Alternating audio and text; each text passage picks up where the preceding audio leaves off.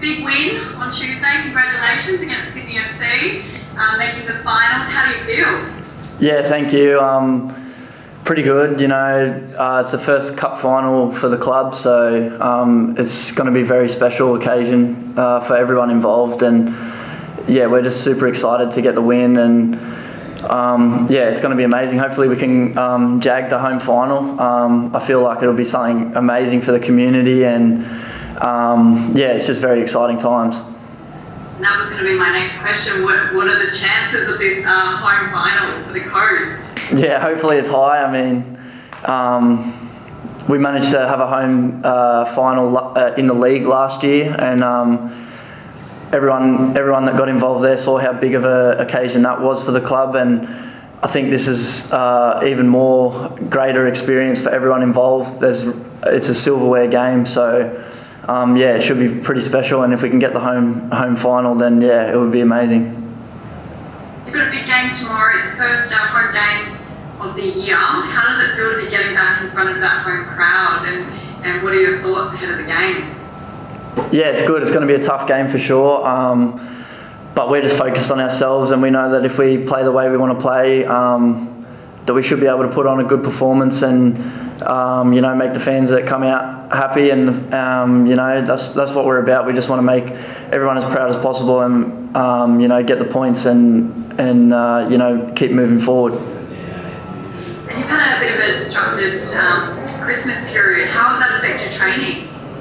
Um, yeah, it's been a bit on and off uh, through the new year and Christmas period, but um, most of the boys are back fit and healthy now, and I think Tuesday night shows a lot for where we're at uh, fitness wise as well. Uh, most boys like running out the 90, which is um, pretty remarkable, really, without playing a game for five weeks or so. And you know, most of those boys um, like caught COVID and didn't train for like seven to ten days. So um, yeah, we just want to build on that performance, which was a good performance, and we want to just keep moving forward. Uh, and hopefully, we can do that tomorrow. Awesome. Thank you so much. No, that's all good. Thank you. Awesome. Uh, Jack, do you want to continue it off? Yeah, I was just wondering, Kye, obviously um, it's been a really young defensive line and you've kind of been like the leader within it. So how's it been, I guess, average age of like 21.25, you know, years old? And how's it been just being that leader amongst just like, you know, just a young defensive line? Yeah, um, obviously we've got uh, Lewis playing a bit more this year, and then Hawley stepping in for RT since he's been injured, and then obviously Faz debuting this year as well. Um, yeah, it's pretty young. Um, I consider like most of us to be leaders anyway, so we all help each other out as much as possible. But yeah, to stand up um, in such a young backline, it's it's kind of been a bit weird because you look around and you try and lean on people for experience, and you're like, well, I'm probably the most experienced here, but um, no, it's good. Those boys have played unreal so far, and they're really stepping up, and it's good to see so much confidence in them so uh, like so early. It's only been five games this year in the league, and you know a few cup games, and the way they've grown from pre-season to now is just amazing, and it's good to see, uh, and it just shows that. Um, you know the local kids do have a lot of talent and it's just all about finding the right combinations and getting their confidence up and you know yeah so it's been good and I guess obviously you mentioned that you are kind of like in those awkward maybe positions. You're the one that has to step up and be that leader. Has is that something Monty spoke to you about previously, like before the season? Because obviously, is it was it more of an unprecedented role you had to take up, or is it something you're always leaning towards?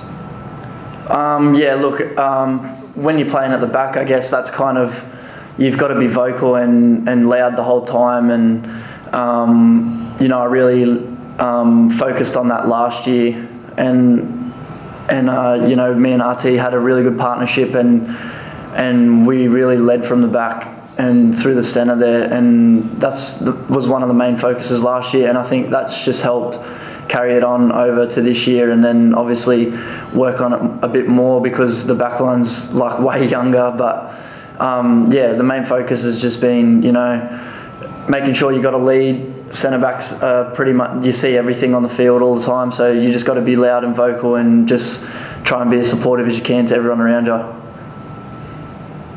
Thanks, guy. Best of luck tomorrow. Cheers, mate. And Mitchell?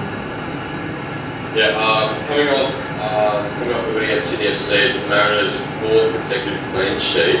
Um, is there a, is there a special source to it, or just like what's been going around the camp that's allowed you know to keep that clean sheet streak going? Yeah, um, it's pretty.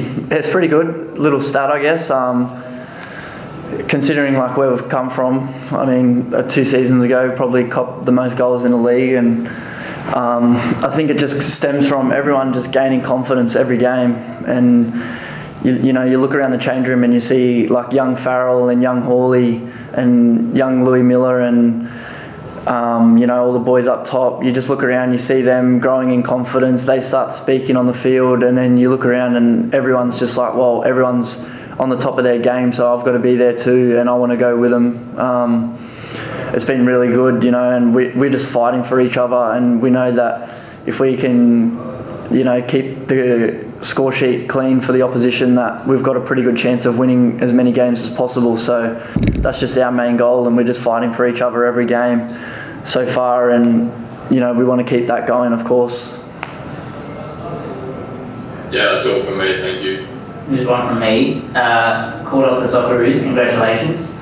Um, when did you hear the news and when did Graham Arnold give you the phone call? Um, it was like Wednesday Arvo after um, our cup game, and took me by surprise to be honest. And and um, yeah, just lost for words and like just so stoked. Um, it's just a massive thing, and yeah, it's pretty crazy, and just like really humbled and appreciative to have that opportunity. And yeah, I can't wait to get into camp and just learn and gain that experience from all the you know experienced boys that have played for Socceroos for years now, and yeah, it's just going to be unreal.